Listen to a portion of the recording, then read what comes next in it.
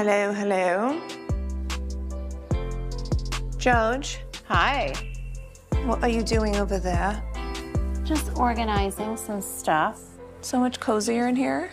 So much cozier with that little velvety thing.